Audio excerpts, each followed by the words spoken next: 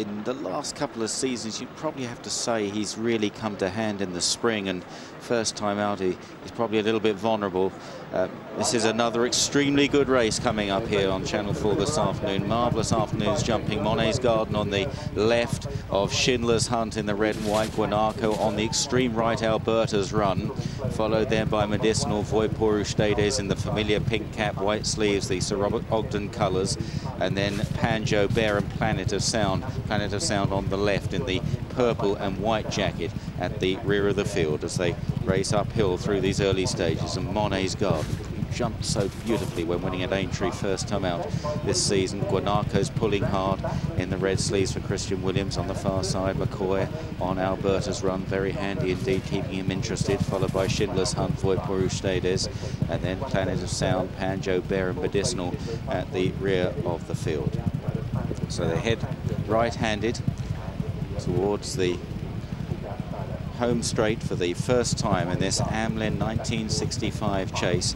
And it's Monet's Garden in front here from Albertas Run in second place. Albertas Run getting plenty of weight today. Will have a real chance at the weights if he can produce his best form. Gwanako on the near side of Schindler's Hunt, then Planet of Sound.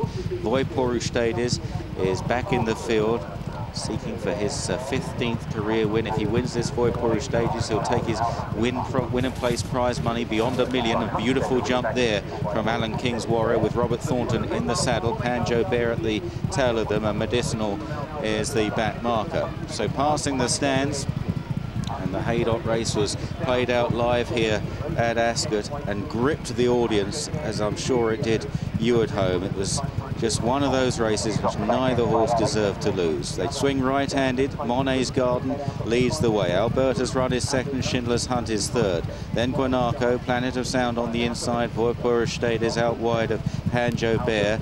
And Medicinal is rather detached in the hands of Daryl Jacobs. They take the first on the next part of the course. Mistake there from Voy Por Ustedes. Robert Thornton just had to sit fairly tight as they continue on towards another plain fence coming up. This is the eighth. And over this, Monet's Garden and now Berta's Run. Not much between them. Gwanako, Voipuru Stedes on the far side. Schindler's Hunt tracking them. And then Panjo Bere and Planet of Sound.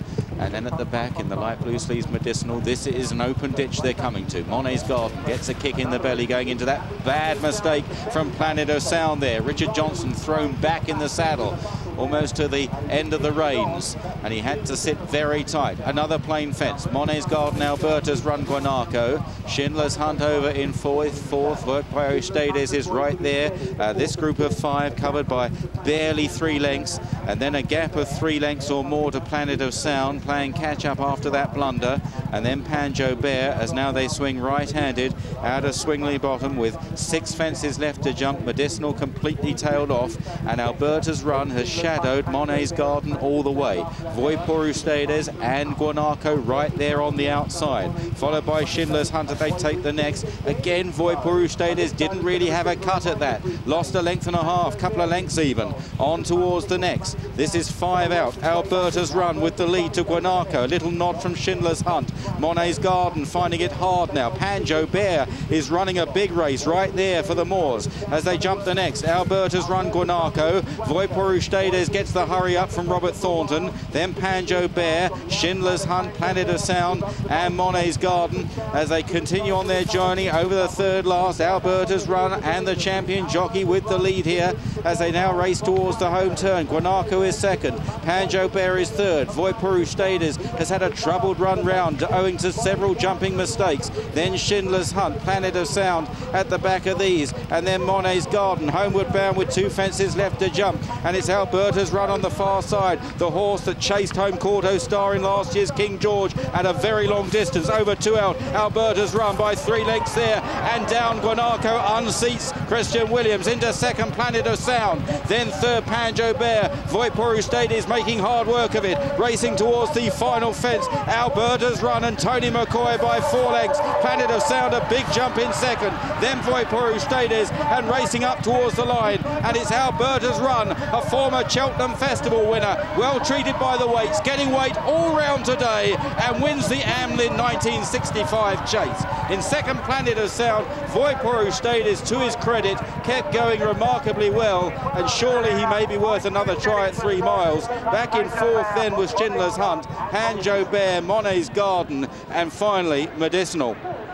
Well, Tony McCoy out of luck at Huntingdon earlier on today, but uh, travelled on here to Ascot and he's had a great ride, run round on Albertas Run, returning to something like his very best form, the sort of form that won him the Royal and Sun Alliance chase in 2008, and his second, of course, to the mighty Kauto Star at Kempton last year. Albertas Run not the easiest to catch on a going day, but he was on form today and he lands our third race here live on C4, the Amlin 1965 steeplechase at odds of 7 to 1. The second horse, number 4, Planet of Sound. He had a troubled passage, but he ran on well to take second at 100 to 30 joint favourite. Third horse, number 2, Voy Por Ustedes, 7 to 2. Yeah, and the reason he's won this is because he jumped much, much better than anything else in the race. Uh, we lose Gwanako, I think, first in the straight. Panjo Bere's run really well. Planet of Sound, though, missed uh, the last one going down the hill. He missed another one. You just can't afford to do that in uh, this type of race. For Peru is a lost count of the number of mistakes that he made. That's so uncharacteristic. And uh, Alberto's run, he's just rock solid, isn't he? Just keeps, I mean, he's almost flat out most of the way around here but he gets in close, he does whatever you want, he just makes an effort when he gets to the obstacles, and uh, he's just a thoroughly, thoroughly good chaser.